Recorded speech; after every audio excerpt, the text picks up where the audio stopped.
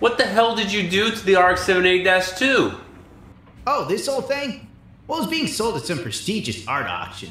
And one of the pilots decided to buy it, said he wanted to win the war in style or some shit. Problem is, needs to be inspected before that can happen. I didn't know pilots had that much money to just sling around. The color scheme is just... Fantastic! I know. I was just talking to assistant manager Fluffy about it, and Fluffy has really good taste in color schemes. Unlike some people around here. Anata wa kawaii desu, Fluffy. Well, I actually do like it. It has a nice contrast. Krow, you don't need to suck it to me. I'm not the one that can give you a pay raise anyhow. Whoa, I'm not sucking up to you. Nante Kotoda, you're still here. We have a tight schedule today, so get to inspecting. Tight schedule? This is literally the only thing we got going on today. He even said he's going to the park to be Fluffy's wingman, whatever the hell that means. That man is oddly close to that dog.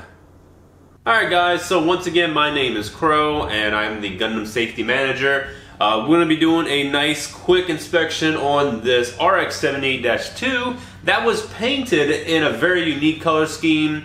So a color scheme aside, we're going to be checking out all the details on the inside, make sure it's operational, the, uh, the software is up to date, and it doesn't have any kind of issues, namely safety issues. So let's go ahead and get into it.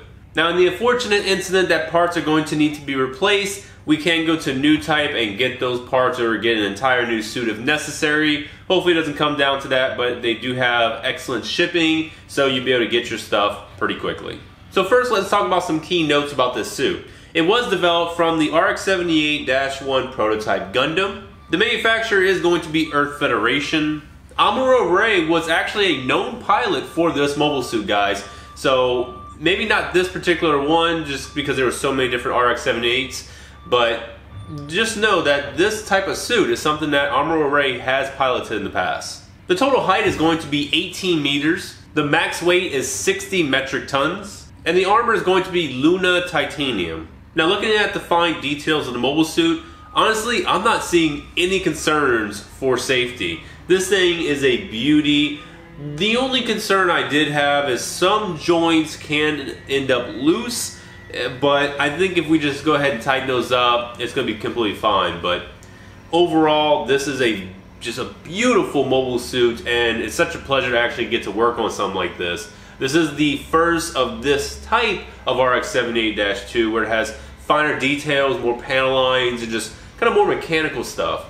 So it's actually really unique in the sense that it, it's a little bit more advanced than the previous RX-78-2s that we've worked on. Now talking about the color, the red and black is just gorgeous. Usually these colors don't really work that well on you know more square, boxy type mobile suits, but this actually works extremely well. And honestly, some of the grays that pop out, it just contrasts so well, and that's uh, that's the key word, contrast, guys. Now this actually does have some armor shifting movement, so when you're bending the legs, you're actually going to see the armor shifting in place instead of being a static position. It's pretty damn cool if you ask me.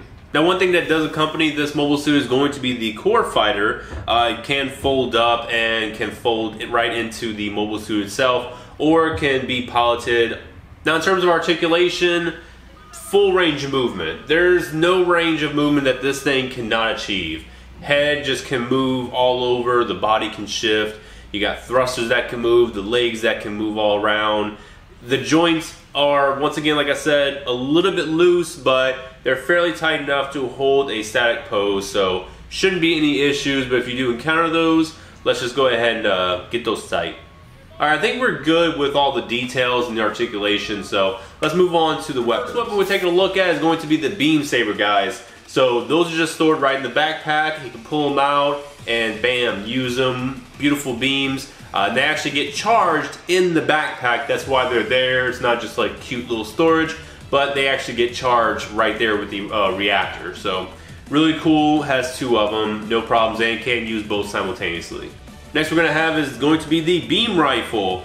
Beautiful beam, no problems with this whatsoever. The scope can actually move as well as the uh, the front handle. So, hey, all around, I'm seeing in the manual pretty much a good beam rifle, no issues with it. Next we have is going to be the shield. Really sturdy shield, solid. It is going to have like a little opening for the eyes, uh, so that way you can peek through while still guarding.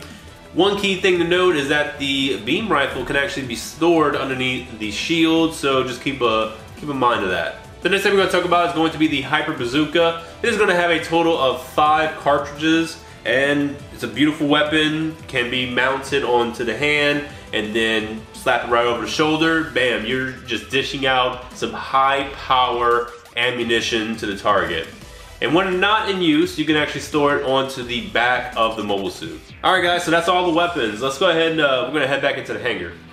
Oh man, that was a great, great inspection. Um, honestly, I have no problems with this. This is clear to go for usage, whatever the hangar manager wants to do with it. Uh, but honestly, this thing is ready for war. I think it's just gonna kick ass. Uh, hoping to pilot is a new type because this thing is it's for new types. All right, I don't think this is something that you just want to put a normal pilot in. Put a new type in this in this thing. He's going to dominate the scene, and he's going to uh, to definitely get some wins underneath his belt. But overall, a great job on the inspection, everyone. I actually had no issues. This is an easy day. We need more days like this, honestly, because uh, you know some days I'm I'm ready to choke every one of you, especially you, Jim. Especially you. But other than that, hey, great job today. Uh, so hey, let's go ahead and uh, let's go hit the showers. All right. I'll talk to y'all later. Bye.